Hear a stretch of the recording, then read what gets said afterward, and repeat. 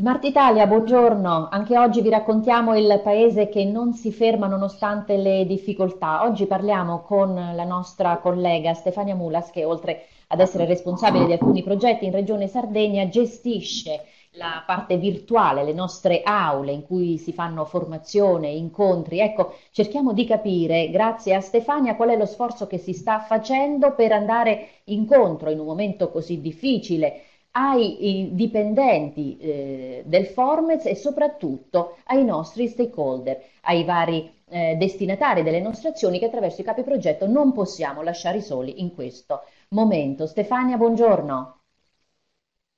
Buongiorno Claudia, buongiorno.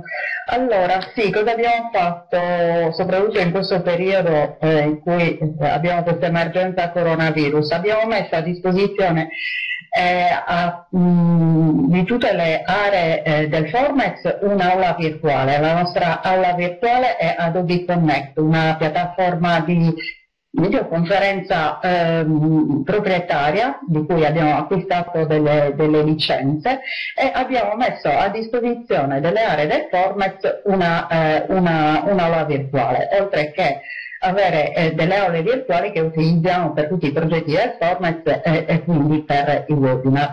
Cosa succede con queste aule virtuali? Ogni eh, responsabile di progetto o ogni dirigente può eh, attivare un'aula virtuale per mettersi in comunicazione, quindi fare eh, riunioni virtuali e riunioni online con il, i propri committenti, con i propri stakeholder e appunto eh, comunicare, informare, formare eh, le persone attraverso, eh, insomma, virtualmente.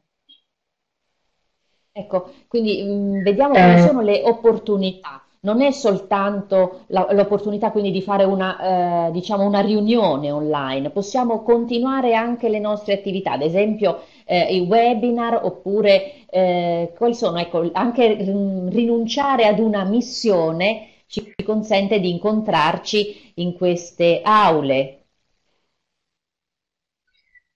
Sì, allora, eh, cosa possiamo fare con, ehm, con le aule virtuali, con, eh, con gli stakeholder, possiamo mettere a disposizione eh, un ambiente che è mh, costituito da diversi eh, contenitori a seconda dell'attività che vogliamo svolgere, perché per esempio possiamo svolgere una semplice riunione online e quindi basta attivare un'aula e un contenitore video in modo tale che tutti ci possiamo vedere eh, e eh, interloquire, possiamo utilizzare un altro contenitore per la condivisione dei documenti e quindi lavorare collaborativamente tra eh, insomma, i partecipanti alla riunione, possiamo eh, fare dei, dei, colloqui a delle, delle, persone, delle interviste, eh, delle video interviste, possiamo eh, attivare qualsiasi tipo di eh, contenitore che insomma risulti atto alla ehm, buona riuscita di, un, di, una collaborazione tra format e committenza e stakeholder. Insomma.